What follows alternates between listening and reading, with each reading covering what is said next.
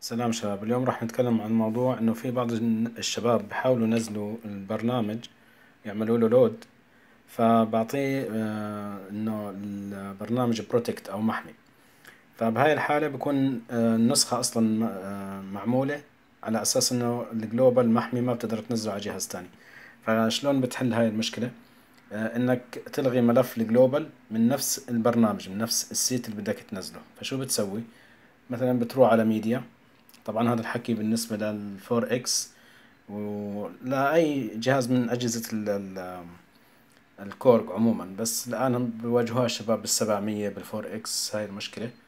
آه، بالألف فشو بتسوي؟ بتروح أنت على البرنامج مثلا اللي بدك تنزله آه، تفتحه بتروح أول شي على ميديا من ميديا بتروح تشوف وين أنت مخزنه مثلا على ال USB أو على الجهاز مثلا. وبتاخده تعمل open هذا الملف لازم تلغيه. بتروح على كلمة delete. بترد بتفوت على البرنامج مرة ثانية.